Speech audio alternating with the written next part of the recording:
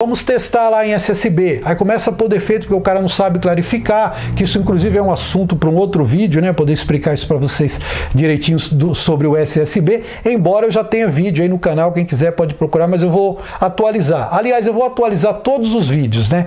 Bater esse papo legal, principalmente para quem está chegando agora.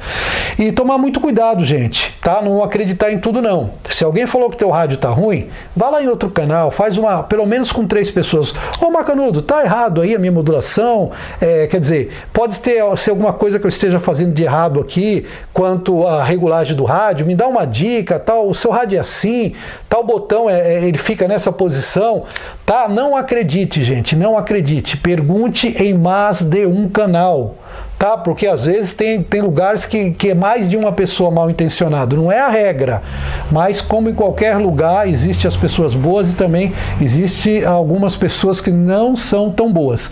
Então essa é mais uma dica que seu amigo Kleber Moreno está te dando. No início pergunte e se uma pessoa falar que está ruim, não acredite. Se for sempre a mesma pessoa botando defeito no teu rádio, pode ter certeza que ele está querendo te empurrar algum rádio pegar o seu na troca para pagar barato. Pergunte em outros canais. Se você vai vai ver a grande surpresa. E pode escrever até nos comentários se já não aconteceu isso com você. De, depois você descobriu que o teu rádio estava perfeito e que o macanudo estava na realidade era desvalorizando para poder pegar o seu radinho à base de troca em outro rádio fuçado aí. Tá? Então essas são algumas dicas, né?